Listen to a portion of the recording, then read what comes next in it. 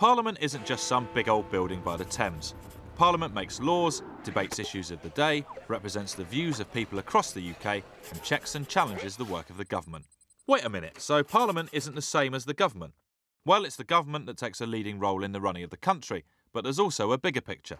So there's the House of Commons, that's where the government sits, along with the opposition, who sit opposite them, of course. This is the elected chamber, and it's made up of MPs who represent all 650 UK constituencies. Then there's the House of Lords, made up mostly of life peers, who are appointed for their knowledge and experience. There is no political party with overall control in the Lords, and many of its members, the crossbenchers and the bishops, are non party political. Finally, there's the monarch. Her role's mainly ceremonial these days, but she does still sign every new law. So, what does Parliament do all day? Inside the debating chambers, the big issues are discussed, new laws agreed, and the Prime Minister is questioned.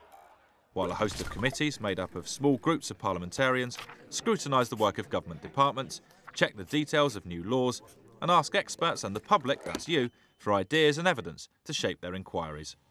Representing the people, passing laws, debating issues, and checking and challenging the work of the government.